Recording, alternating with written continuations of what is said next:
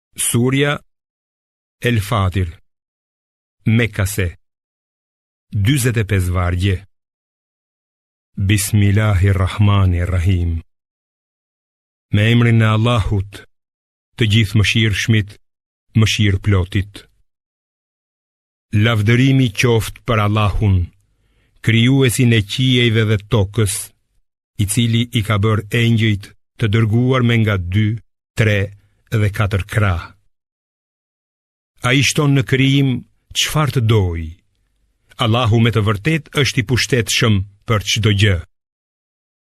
Begatitë që Allahu ua jep njerëzve nga mëshira e tij, nuk mund t'i pengojë askush, ndërsa atë që ai e pengon, askush nuk mund ta japë veç tij. Ai është i plotfuqishmi dhe i urti. O njerëz, kujtoni dhuntinë e Allahut për ju. A ka ndonjë krijues veç Allahut, i cili ju furnizon nga qielli dhe toka?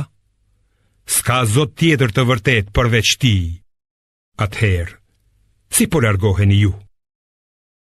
Nëse ata të quajnë ty gënjeshtar, edhe para teje të dërguar të tjerë i kanë quajtur gënjeshtarë.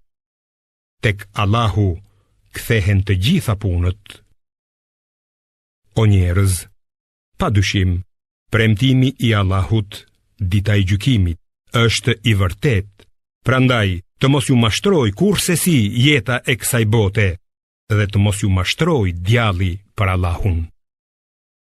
Me të vërtetë, djalli është armik për ju, andaj vështrojeni si armik. Ai vetëm i josh ithtarët e vet që të bëhen shokë të zjarrit të përflakur. Për ata që nuk besojnë, ka dënim të rëndë, kurse për ata që besojnë dhe bëjnë vepra të mira, ka falje dhe shpërblim të madh. A është ai që veprat e veta të këqija i duken të mira, si ai që është i udhëzuar në rrugën e drejtë? Me të vërtetë, Allahu shpie në humbje kë të dojë dhe udhëzon në rrugë të drejtë kë të dojë. Ti, mos e shqetëso veten deri në shkatërrim për humbjen e tyre. Allahu është vërtet i gjithëdijshëm për atë që bëjnë ata. Allahu është ai që i dërgon erërat të cilat lëvizin retë. Ne i drejtojmë ato në viset e vdekura e nëpërmjet tyre gjallërojmë tokën pasi ka qenë e shkretë. Kështu do të jetë edhe ringjallja. Kush dëshiron lavdi e pushtet, ta dijë se e gjithë lavdia e pushteti i takojnë Allahut. Tek ai ngjiten fjalët e bukura, ndërsa veprën e mirë, ai e ngre vetë. Sa i përket atyre që kurdisin të këqija, ata do të kenë dënim të rëndë dhe dredhitë e tyre do të dështojnë. Allahu ju ka krijuar së pari prej dheut, Ademin, pastaj pasardhësit e tij i ka krijuar nga pika e farës dhe më në fund ju ka bërë çifte. dhe asnjë femër nuk mbetet shtatzënë e as nuk lind pa dijeninë e tij. Jeta e askujt nuk zgjatet e as nuk shkurtohet pa qenë e shënuar në libër. Me të vërtetë, kjo për Allahun është e lehtë. Edhe dy detet, llojet e ujit, nuk janë të njëjta. Njëri është i ëmbël e i këndshëm dhe uji i pihet me shije, kurse tjetri është i njelmët dhe i hidhët. Ju ushqeheni me mish të njomë prej të dyve dhe prej tyre nxirrni stolitë që mbani. Shikoni anijet si çajnë ujin, ndërsa ju lundroni me to për të kërkuar nga dhuntitë e tij, ndoshta ju bëheni falënderues. Ai e bën natën të kalojë në ditë dhe ditën të kalojë në natë. Ai i ka nënshtruar diellin dhe hënën, kështu që secili lëviz për një kohë të caktuar. Ky është Allahu, Zoti juaj. Pushteti është i Tij. kurse ata që ju i adhuroni krahas tij, nuk zotërojnë as sa cipa e bërthamës së hurmës. Nëse ju u luteni atyre, ata nuk e dëgjojnë lutjen tuaj, por edhe sikur ta dëgjonin, nuk do t'ju përgjigjeshin. Në ditën e kiametit, ata do ta mohojnë adhurimin që u bënit atyre. Askush nuk mund të të njoftojë ty o Muhamed, ashtu si ai që është i gjithëdijshëm. O njerëz, ju jeni të varfër e nevojtarë për Allahun, kurse Allahu s'ka nevojë për asgjë dhe është i denjë për çdo lavd. Nëse do, ai ju zhduk dhe sjell krijesa të reja. Kjo gjë nuk është e vështirë për Allahun. asnjë shpirt i ngarkuar nuk do të mbartë barrën e tjetrit. Nëse i ngarkuar i rëndë thërret dikë që t'ia mbartë, nuk do t'i merret asgjë nga barra, edhe sikur të jetë i afërt. Në të vërtetë, ti paralajmëron vetëm ata që i frikësohen zotit të tyre në fshehtësi dhe që falin namazin. Kush e pastron veten nga gjynahet, në të vërtetë e ka për dobinë e vet.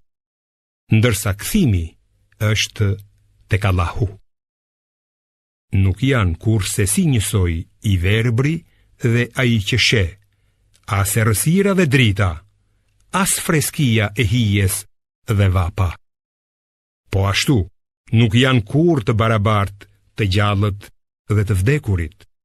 Allahu bën të dëgjojë kë të dojë Vetë, kurse ti Muhammed nuk mund të bësh të dëgjojnë ata që janë në varre. Ti je vetëm paralajmërues. Ne të kemi dërguar ty me të vërtetën për të sjellë lajme të mira dhe për të paralajmëruar. Nuk ka pasur asnjë popull që të mos i ketë ardhur paralajmërues. Nëse ata të quajnë ty gënjeshtar, dije se edhe paraardhësit e këtyre i kanë përgënjeshtruar të dërguarit e tyre që u sollën prova të qarta, shkrime dhe një libër ndriçues. Pastaj unë i dënova mohuesit. E sa i tmerrshëm ka qenë dënimi im. Vallë, a nuk e sheh ti se si Allahu e lëshon ujin prej qiellit dhe nëpërmjet tij krijon fruta llojesh e ngjyrash të ndryshme? Nëpër male gjenden shtigje të bardha dhe të kuqe, ngjyrash të ndryshme dhe krejtësisht të zeza. Njerëzit, kafshët dhe bagëtitë janë llojesh të ndryshme gjithashtu. Në të vërtetë, Nga robërit e tij, Allahut i frikësohen vetëm dijetarët që e dinë se Allahu është vërtet i plotfuqishëm dhe falës. Pa dyshim, ata që lexojnë librin e Allahut, falin namazin dhe japin fshehtazi apo haptazi nga ajo që u kemi dhënë ne, mund të shpresojnë në një fitim që nuk do të humbasë. Allahu do t'ua plotësojë atyre shpërblimin dhe do t'ua shtojë nga dhuntitë e tij. Me të vërtetë, ai është falës dhe falënderues. Ajo që ta kemi shpallur ty në libër, është e vërteta e cila konfirmon atë që është shpallur para tij. Sigurisht që Allahu i njeh dhe i sheh mirë robërit e vet. Pastaj, ne ua dhamë librin robërve tanë të zgjedhur nga ndjekësit e Muhamedit, alejhi selam.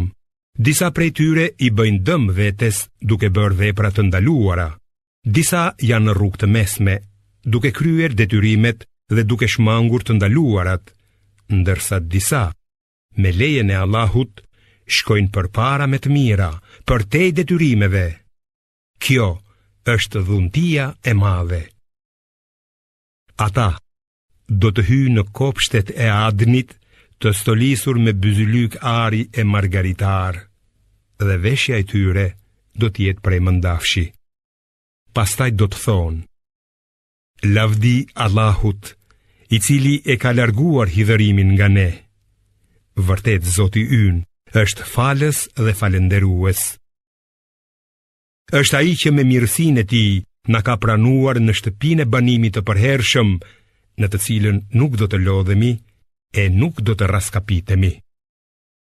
Për jobesimtarët, është përgatitur zjarri i xhehenemit, ku ata nuk do të vdesin dhe as që do t'u lehtësohet dënimi.